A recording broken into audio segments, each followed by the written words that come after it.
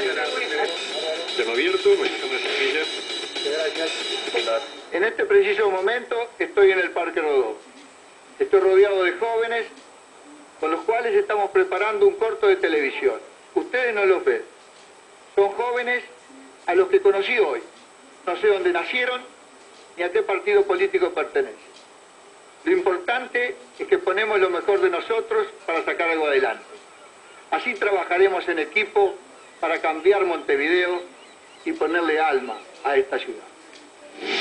Carminati, Intendente, la experiencia de hacer.